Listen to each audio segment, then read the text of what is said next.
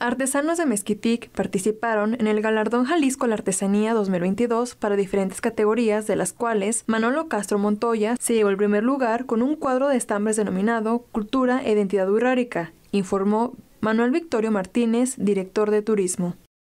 Manolo Castro Montoya fue el galardonado, por así decirlo. Él ganó el primer lugar en pues en todas las categorías.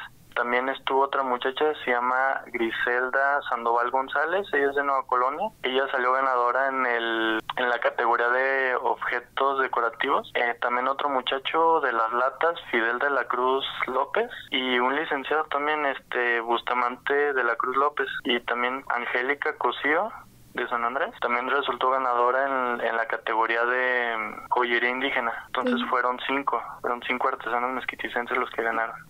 El director de turismo destacó que es un honor como municipio ser reconocidos a nivel estatal, ya que sin lugar a dudas Mezquitic es un municipio que cuenta con talento artesanal y que son conocidos no solo a nivel regional, estatal o nacional, sino internacional pues un honor la verdad porque pues aquí en el municipio nosotros estamos conscientes del talento que hay no sobre todo pues en la comunidad de San Andrés que ahí es donde bueno nosotros tenemos conocimiento que están los mejores artesanos que han ido que a hacer exhibiciones que a Estados Unidos que a Europa en Guadalajara en la Ciudad de México en todos esos lados. Entonces para nosotros es pues un orgullo que a nivel estatal se les reconozca pues y se les premie. Entonces pues nosotros como ayuntamiento pues estamos haciendo lo posible para pues para apoyarlos no así sea en sus traslados en sus en sus trámites no en ese tipo de cosas Manuel Victorio informó que las piezas serán expuestas en la Casa Artesanal de Jalisco para exhibición y venta. Además, destacó estar orgulloso de los artesanos de Mezquitic, no solo los galardonados, sino todos los que participaron.